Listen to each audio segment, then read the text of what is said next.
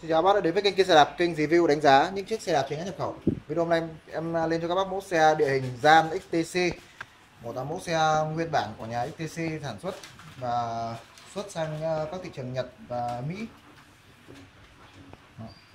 Khung nhôm nước sơn nguyên bản đồ DOG XT. Rất là cao cấp.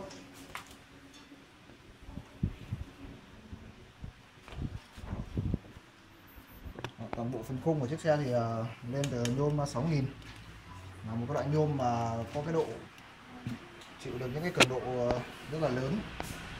Và cái độ chống màu mòn cao.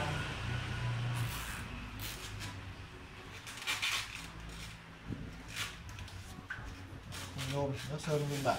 Xe thì còn ờ, khá là mới. Chỉ qua quá trình sử dụng. Đã qua quá trình sử dụng và là xe bãi nên là sẽ có những cái vết xước mà nhỏ à, không thể tránh khỏi.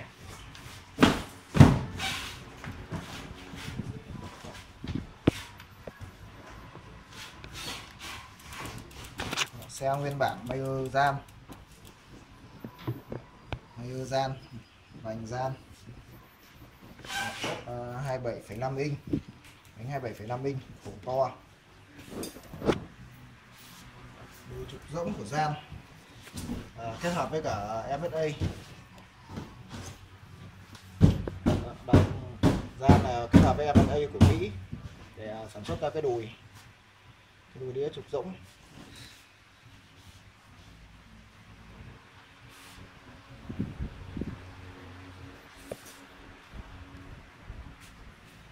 Ghi đông của chiếc xe thì được trang bị bộ tay bấm của Shimano DOG xanh dầu Techo đồ con tích nguyên bản gian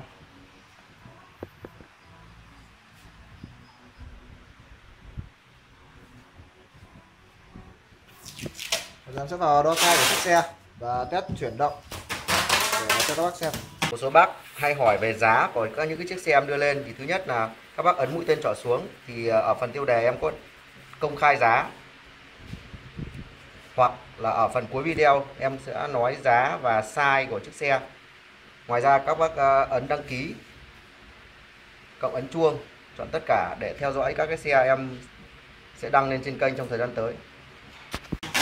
Size của chiếc xe, từ tâm trục đạp đến khóa cọc yên là 45 cm từ khóa cọc yên đến tâm cổ phốt là 57 cm rồi có size là size M. Rồi, size trung bình cho bác từ khoảng mét 65 đến mét 75 đây là phù hợp.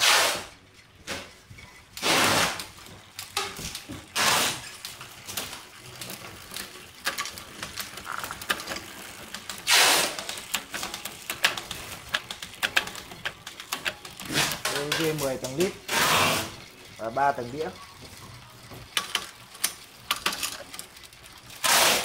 30 tốc độ khác nhau.